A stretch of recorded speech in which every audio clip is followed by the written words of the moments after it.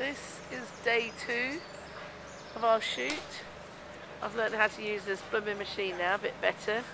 My nice little flip Mino. And I've got to hold it like that and then I'm in. And we are here in Southall at the Sikh temple and this is where I grew up on a street just down there.